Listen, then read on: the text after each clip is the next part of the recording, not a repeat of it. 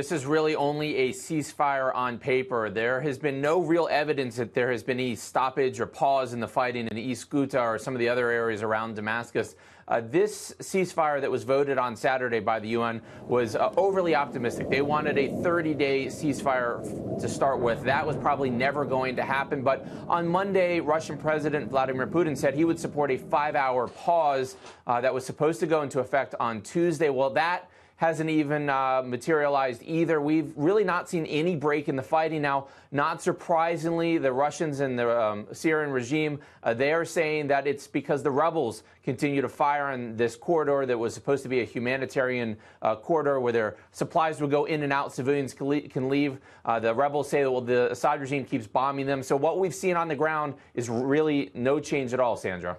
Conor Powell, thank you.